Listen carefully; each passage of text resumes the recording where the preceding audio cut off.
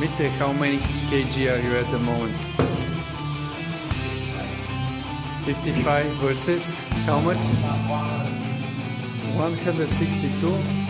So basically, three times three time Mitko versus one Georgi.